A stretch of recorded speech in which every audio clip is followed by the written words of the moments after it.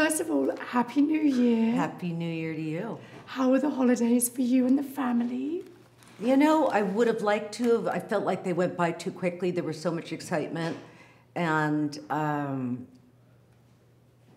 I wanted to hear more Christmas music, and I was running here and running there, and um, I just felt like it went too quick. And new babies to celebrate, and just. I can't believe we were just talking about Phoenix just turned one. It seems like this was six months ago. It's like a roll of toilet paper. My father in law once said that. In the beginning, it's all fluffy and big, and then all of a sudden, Yeah. How did you guys celebrate? How was the birthday party? we're going to do the party next week because we have some relatives coming in town. So we'll do it next week. That'd be really We just went over and, you know, saw the kids and played around, and he's taking his birthday pictures, and he's a little ham, I have to tell you. He dances, bops his head. He's hysterical. Always a smile on his face. He is always smiling. I Such a noticed that in the happy baby. pictures. And did we see a video of him dancing? And he's, he la- he smiles, and he's like looking. He just like he knows what to do, already.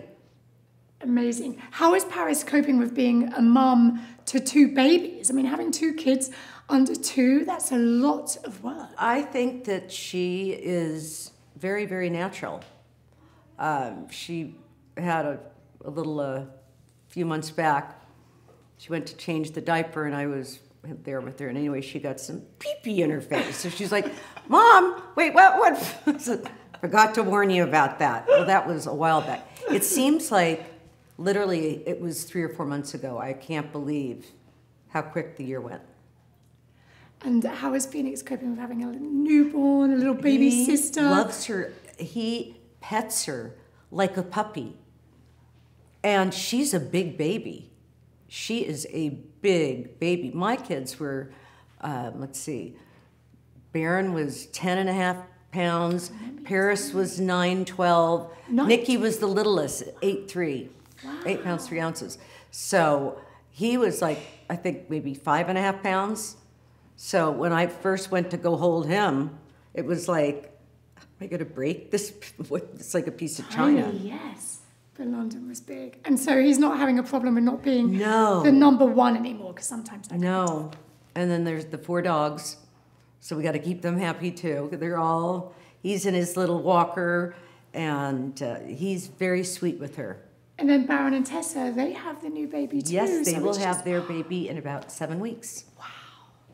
So we will have four girls and four boys. You have your hands full.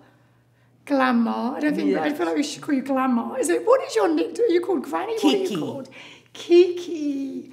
I was gonna say there's no way they're calling you Grandma. Far too glamorous. Kiki. So where did Kiki come from? My sisters, when they were little, couldn't pronounce Kathy. And my dad, so they called me Kiki. I'm just glad she's so happy. She's waited a long time. She's the happiest she's ever been. She's just at peace. You know? amazing. She feels very full and whole now. And she and Carter are um, an incredible couple. And I saw a picture posted for Kyle's birthday.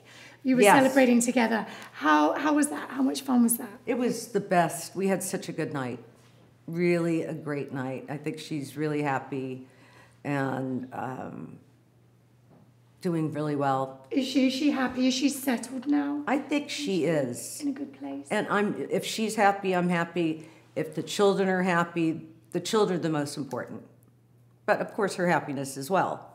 And Kim's happy. And Kim's happy.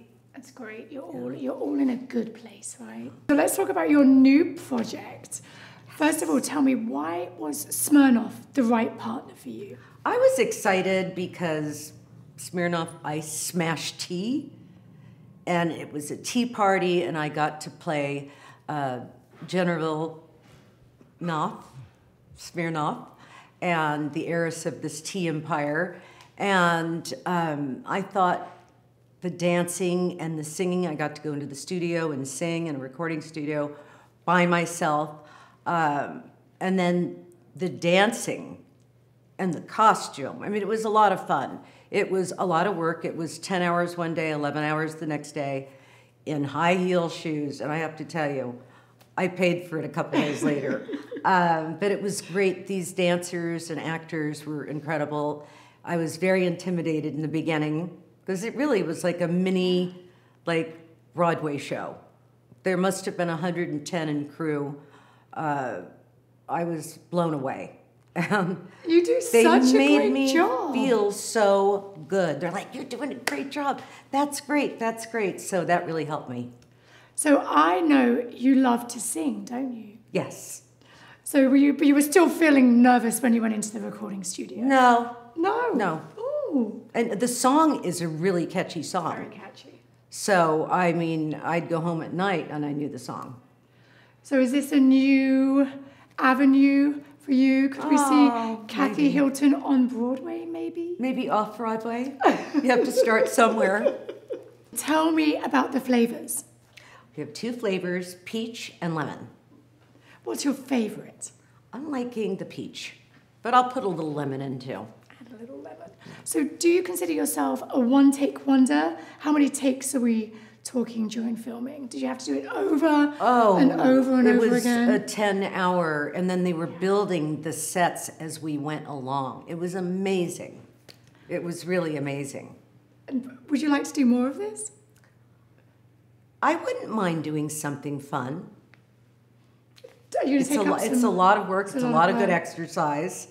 Um, I had a blast. I had a, you know, I chalk it down as experience. So we know that Paris is working on some new music, Yes. and Sia's going to be producing her album, right? Right. Which is very exciting. So could we see a little collaboration with Paris and? No, we, we have, she's mentioned it to me, so we'll see, we'll see. Where can we get the Smirnoff Ice Smash Tea? It will be on the shelves in February, and all your convenience stores, gas stations, you name it, we'll have it there. Here is to our new project, and I look forward to smashing the tea with you soon. Cheers. Cheers.